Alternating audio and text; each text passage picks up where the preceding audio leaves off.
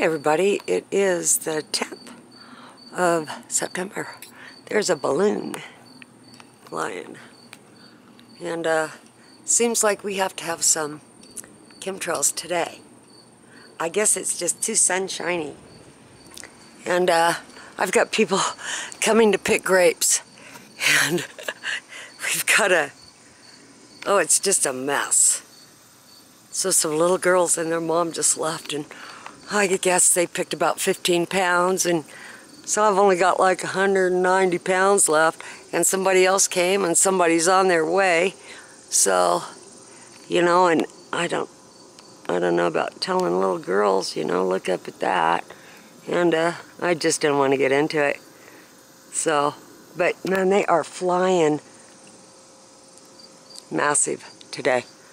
And so I would like to once again mandate to uh, President Trump to stop this program.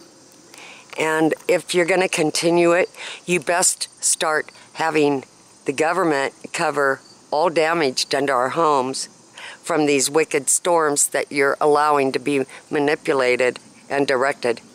So, Mr. Trump, it's on you now. You're the boss.